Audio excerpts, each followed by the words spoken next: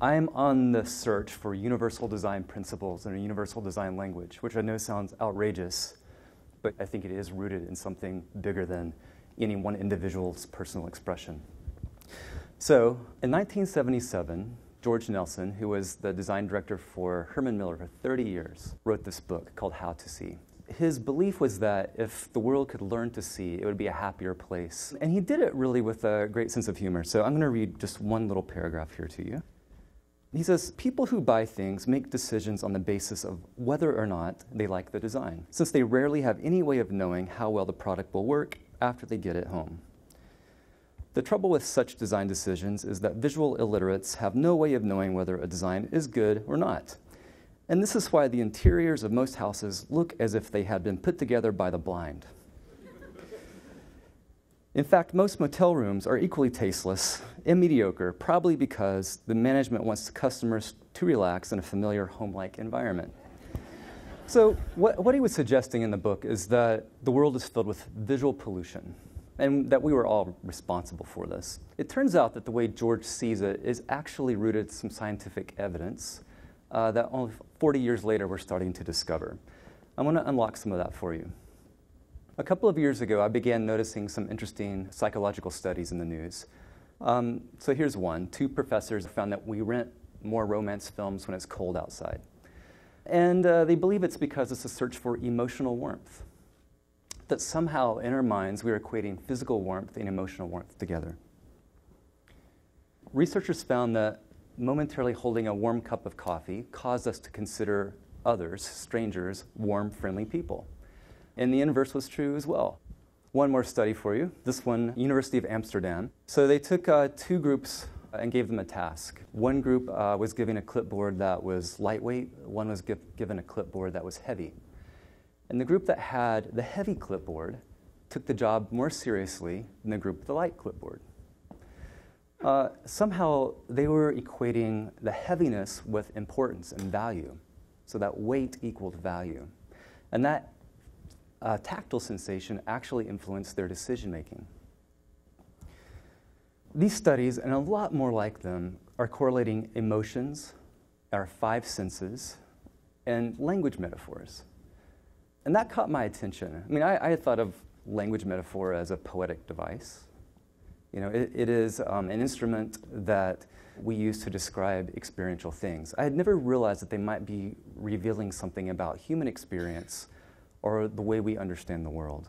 Interestingly, during the same decade that George Nelson wrote How to See, there was this debate going on about the origin of language. Noam Chomsky had a student named George Lakoff. The theory at the time was that language is um, inherent in humanity and uh, we generate language from our being. And uh, Lakoff said, I don't know, I, I think it's more about generated from our experience, and our experience dictates how we create language. But in the end, Lakoff did have enough evidence to prove a theory. And uh, that theory was that human experience creates language, and he did it through metaphor. He wrote a book in 1980 called Metaphors We Live By, it shows uh, how visceral experience creates language rather than disembodied reason creating language. And that idea is most elegantly illustrated through language metaphor. So, this made me wonder if, if our understanding of metaphor is useful for inspiration for design. I wondered, so I, I asked George Lakoff, I wrote him and I said, Hey, I kind of understand your theory like this. I'm thinking about what metaphor means for design and how we as designers talk about how a design might be strong or warm or uh, busy. Um, do you think there's a connection here and, and, is it something interesting? And George wrote back and said, Yeah, I think that is. That's a very reasonable uh, connection. Um, so, you guys all probably live by Cartesian theory. Cartesian theory is basically the mind and the body are separate. Rational thinking is the kind of thinking that we should all adhere to, and emotional thinking is what we should all reject. In reality, we know we don't live that way at all. We're, we have a very intertwined life. Um, and this Cartesian theory has been with us for a long time now, and I, and I think especially in the business world, we, we struggle with it all the time. And there's very little discussion about the aesthetic value of what you're doing or the enrichment you're giving the world. So I think it's actually ignoring the deep unspoken appeal of design when we, when we just say emotions don't matter. brain imaging tools show that when we experience something or we imagine something, the same regions of our mind are being activated. So, for example, if I'm thinking about cold weather or I'm thinking about a callous person, the region of the brain uh, that connects those two words, that cold word together, is connected. And so the implication is that whether you're imagining something or you're taking action, to the brain it's all the same. And I think this is why it matters to design. Uh, it turns out that metaphors, uh, whether visual or spoken, um, are triggering imagination, and they are tools that we as creators can use to make the world better and make experiences better. So there's this field of study called embodied cognition. Another term for it is physical intelligence. The idea that we're understanding with our bodies, that our five senses are giving us the key to unlocking the world. And so um, a number of us at IDEO uh, were confident in these theories and said, let's try to map some of these things out and make tools that we could share um, to either give designers more confidence in their own intuition or uh, to help our clients understand uh, the values that we have. So we made a map, um, and we based them off the five senses. Let's look at fresh. So fresh can be understood via sight and sound. And we can connect freshness with concepts like new and healthy and young. I think you know this is true from your own personal experience. Which apple would you like to eat? I think most of us would choose the healthy one. Yeah? We actually used this very slide in a client meeting when we were having trouble getting the client to invest in new manufacturing processes. We showed this to the boardroom. I asked them the same question. They all said they would like to eat the healthy apple as well. From that point, we got them to invest in the new manufacturing equipment. So that was really great because all I did was show them two apples, right? I didn't have to show any spreadsheets.